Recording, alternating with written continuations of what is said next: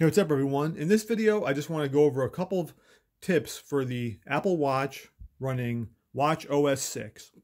Now, the first thing is about the calculator because uh, several people have you know written into me asking about it because the tip function isn't very intuitive. So I'm going to go through that thing first.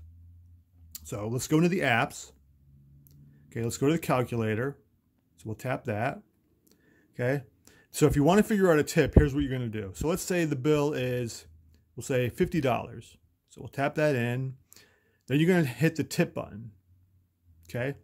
And then you could change it by using the crown to change the percentage of the tip amount. So let's say I think the industry standard is, we'll say 15%. So I'll scroll to 15%. And then what you can do is you can then tap where it says people and you could change the amount of people that are you know are having dinner that you're going to be splitting the bill. So let's say, for instance, we have eight people, and on a fifty dollar bill with fifteen percent tip, each person will leave seven dollars and nineteen cents. So that's how you'll work the tip feature on the calculator app.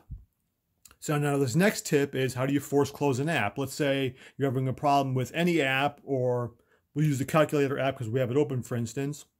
So when you're in the app and if it's acting weird or buggy or whatever, you just want to force close it, what you're going to do is this.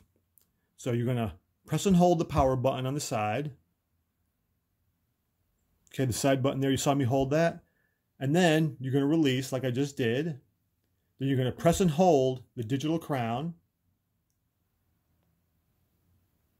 And that force closes the app just like that. Okay?